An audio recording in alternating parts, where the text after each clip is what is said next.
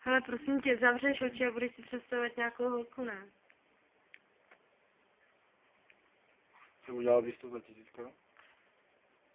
Nevím. Jako vykouřit se za tisícovku, abys to brala.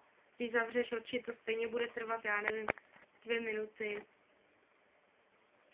Než vystříkneš to semeno. No možná dvě vteřiny, no. Tak co? Necháš si vykouřit? Nebo, jo. Možná někdy příště. Ale za litr, platí to teda někdy příště? Tak jo, je to dohodnutí. Tak Dušané. Tak Dušané, mám